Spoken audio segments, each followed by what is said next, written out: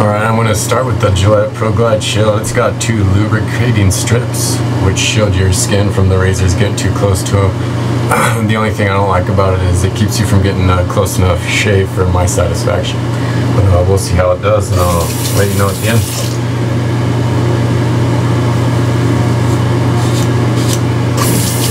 Very comfortable shave, but unfortunately that's because of the uh, guards on it. So.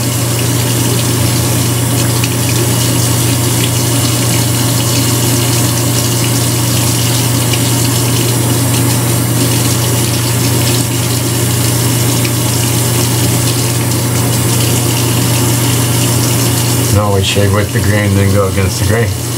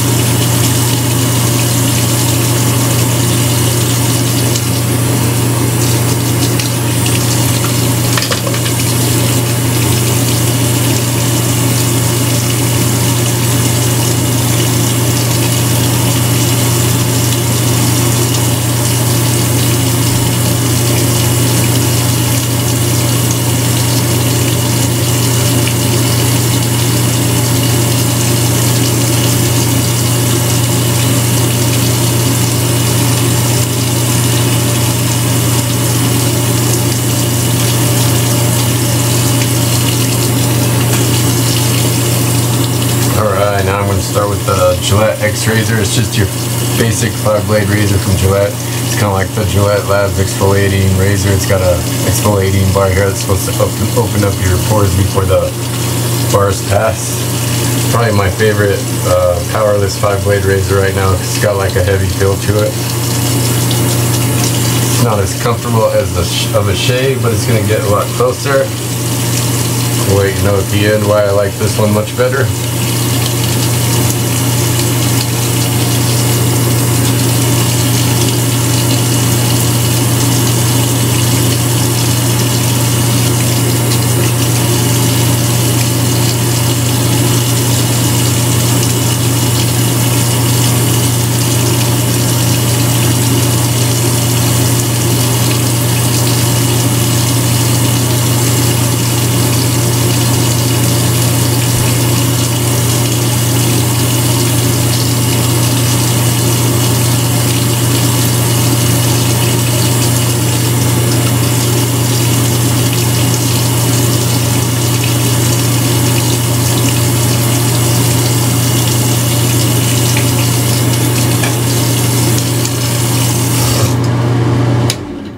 Alright, pretty much all done. The winner is definitely the Gillette X Razor because it's a really comfortable shave and you can get close to the skin.